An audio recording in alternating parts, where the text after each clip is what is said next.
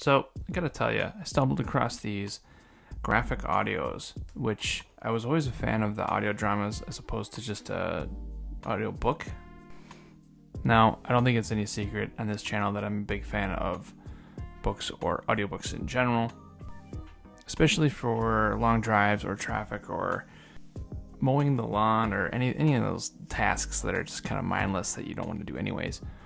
Stumbled across Superpowered by Drew Hayes. Now, it was funny because uh, if you go on Audible, all these graphic audios, I think the most I've seen, I think it was for a Brandon Sanderson book, the most you see as far as reviews goes, which goes a long way in telling you if it's any good or not. I think it was like 30 views or something like that. And to be clear, I had come, I had listened to these books in the past, and they ranked at some of my top favorite series. I'd listened to the the whole series, specifically the last book, which is I think uh, what is it, 50 hours long or something crazy. So it's one of those series that you can just get lost into, and then it's for me at least, it's not one of those series that you were just waiting for. Man, just gotta get to the end of this thing. When is this gonna end? Is he gonna get to the point? Every book has its definite end point, so they're not like constant cliffhangers all the way through to the end. And what's surprising to me is I think Super Powereds Year One, I think was one of the, if I'm not mistaken, one of the earlier books done by Drew Hayes. But it is the book that got me into to his work. Uh, the Superpowers is probably my favorite. Probably the second favorite is the Vampire Accountant series, which is also really good, and I believe it's ongoing. But anyways, uh, I'd been a fan of audio dramas, but they're always they were always hit and miss. You'd get the ones done by the BBC, and not to say that the BBC does a crappy job, but you can't always count on the quality. So it's kind of funny. I saw this one finally on Audible. I don't know if they're making a transition. I don't know anything else about the company, how long they've been around, or anything like that, but saw a new release for the Superpowered series got a little excited, but then I realized, oh, it's just year one being redone.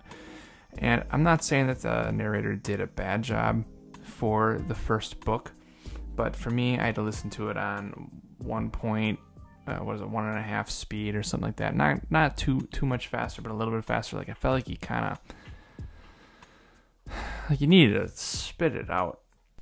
Something about his pace just seemed slow to me.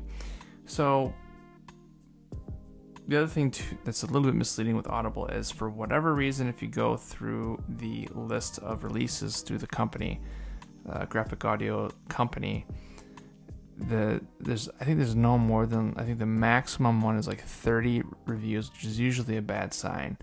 So forced myself to burn a credit and get the first part. And I think when I got this audiobook, I think it came out in parts, but now you can get the full first book in a single part. I think, at least at time of recording, the second one's going to be coming out in uh, parts as well. I think next month or end of this month, whatever it happens to be.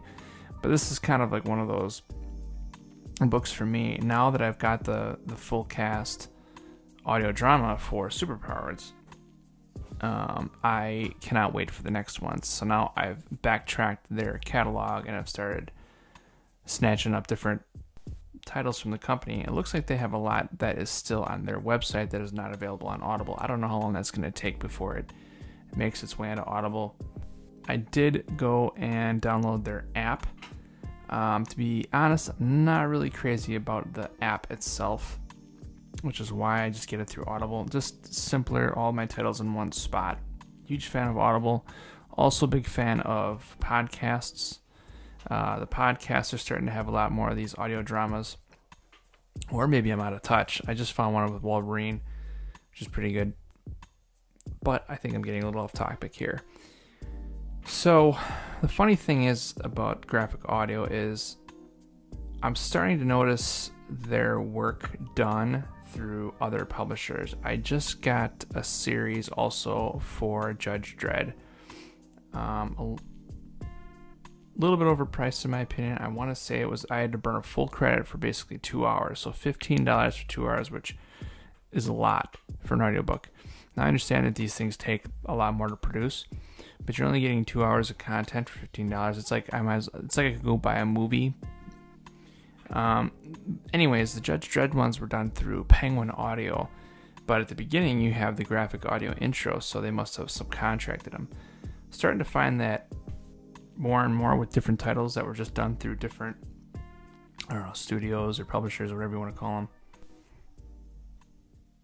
But as of yet, the titles that I've listened to, the Superpowered, I gotta say it's probably my favorite favorite one so far. Now I'm not saying I've listened to all of them or even a lot of them to be to be honest, but for some reason the Superpowered ones kind of is in that uh, it's it's a it's be honest, it's a really nerdy book. It's basically Harry Potter, but in college, but with super powered kids, not wizards and all that kind of stuff.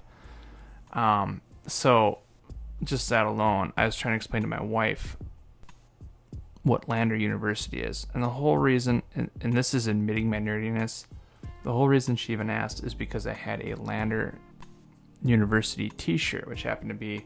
It's uh, my most comfortable T-shirt that I own so it gets worn when I'm having like a I save it kind of for a rough day because I don't want to get tons of holes in it like my all my other t-shirts. So I had my Lander t-shirt on. What is Lander College? Well, I had explained to her what the book was. So it's like cat's out of the bag. My nerdiness is admitted to the world with this book.